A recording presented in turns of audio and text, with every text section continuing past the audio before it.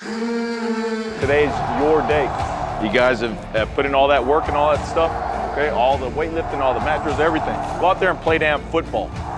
Be the most aggressive, be the most physical, and be the hardest playing team there is. You guys have shown it. Today's no different. You guys got it. Let's go play football today. The first time I had like a unit meeting with our players and Coach White, you know, you see the mellowness, you see him, and especially with us coaches, he's very mellow and reserved. And then, you know, there'll be a moment in which the meeting and he kind of lights up a little bit. And I think that's the passion that he has for the game, the passion that he has to try to help young people.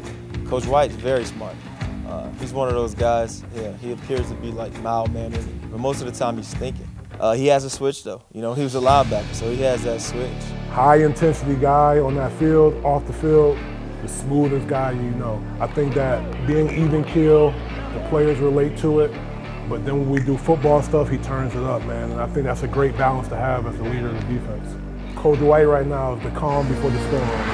Ball! On ball! Nice job, Buddha! Nice job! Nice job! I like that attitude. I like that. That's the way to play. That's the way to play. MJ! There you go, MJ! That's the way!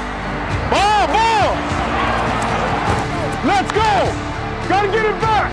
Tighter coverage. Nice job, Jody!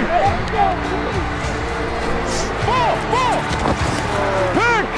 That's a hell of a play. Nice job! Nice job!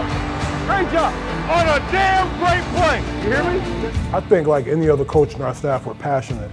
Um, and he fits right in how Coach Rhule has designed his staff. And for him to lead the defense and the way he prepares for practice, the way he's meticulous about details in practice, the players respect that. And, you know, being a guy that works for him, I respect that as well. Probably a future head coach, you know. He always has a plan. He's very, very organized. The guys understand it, you know. The staff, the defensive staff, we understand it.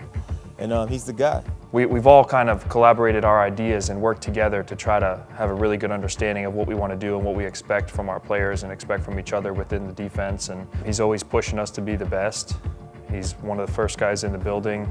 He's here late every night. He's always studying other teams, studying us to see how we could be advanced. And I'm thankful for the opportunity to work with him because he's a tremendous leader and a really, really, really, really bright person. You know, he has a system, uh, but he's willing to adapt the system to the players. But I've already seen a couple times now, like he, he's going to bring some fire. And to me, defense is about that, right? Like you have to be sound, you have to have good X's and O's. But really, at the end of the day, like I want to go out there on defense and I want to out hit and out run to the ball people. I mean, I want to out strike people. I want to take the ball away. I can tell that he's going to make sure that we are a physical team that runs to the football, and, and uh, if anything else, we'll have that. AJ, nice job. Play ball, run it. Play ball. You guys got me? That first series wasn't good enough. Hey, let's go. Take the ball away. You can't be tired.